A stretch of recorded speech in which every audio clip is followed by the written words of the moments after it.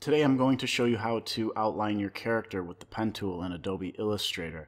The best that I can do is, is give you pointers and tips on doing certain shapes, but you're only going to get better the more you practice. To start out, I have my little Stay Puft character here. What I like to do is select him, I lock him, because you know I'm using this to trace over. Uh, we'll lock that layer, make a new layer here, and I actually would like to reduce the opacity of this guy. So let's go over here, kind of bring him down to, yeah, 50% should be fine. Lock that layer. That way I can't, uh, I can't select it. And go to our new layer here, select the pen tool, and let's make sure there's no fill. Now I like to start on ends when, when, there's arcs because you don't need a lot of you don't need to do a lot of points with arcs. So let's bring a point in there. Press the middle, keep it held down, and let's extend it. It's going to give that arc, and we could just follow it all the way to the other edge here, and it's going to arc it for us automatically. And let's do the same thing over here. Let's find that midpoint for the arc, extend it, and then another edge there. Now, don't worry about it not looking perfect. As long as you have your basic points there, that, that's all you need. We can go in and we'll adjust these as we move along. So I'm going to go ahead and start another uh, line here, pressing P for pen, and let's do the hat. It's starting to shape up a little bit, but I also want to point out sometimes you don't want these little Bezier points, and you can see how it kind of messes up the design part of this little uh, part of his hat. So when you don't want these little edges here, go up in the corner, and you want to just convert it to a point, and it'll help give you that sharp edge. I mean, we could probably, let's just test it out here. Go in and give that, see, it gives it a nice point.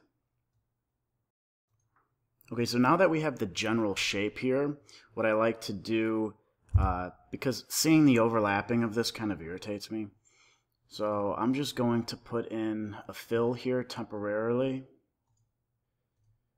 just uh, to use as a guideline. It also helps to see if, if everything is lining up appropriately and shaped properly. This also helps to distinguish what your layer arrangement will be. So that's looking pretty good so far.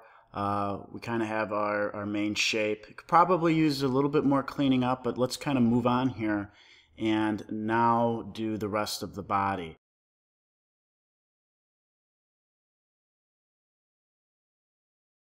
So here's his body. It looks ugly, I know. So let's just start filling it in with uh, a color fill to see where we're at. All right, now let's copy these shapes.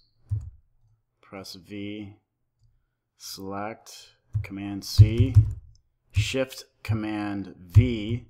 That's a paste in place. Okay, then right click, and we want to reflect. Let's preview. There we go on the vertical. So now we have the two sets of shapes.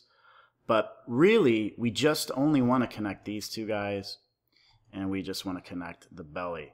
What we want to do is select the two shapes, bring up the Pathfinder here. You could, if it's not in your display, go to Window, and Pathfinder right here. It should bring it right up. And we're going to want one of these. I believe it's Unite or Merge. Let's try Merge. Yeah, the Merge did it. Now this is the belly's just one shape. See these points in here? We don't we don't want this. There's too many. So press minus on your keyboard and go to these points, the points that you don't want. There you go. Also, let's take a look. This point has the little handlebar there, but doesn't have it on the other side. But that's okay.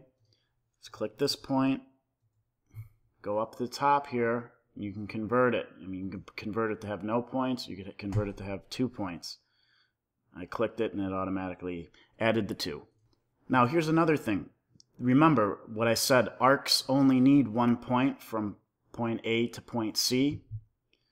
Let's, let's remove these. Let's press minus again. Let's remove this one. Let's remove that one. Let's press A and pull these bars this way. Pull this bar this way. You can see now it's much cleaner, much smoother. That's what we're looking for. So we're almost done now. Now we just need to do his face, his little bow here, and his boxing gloves.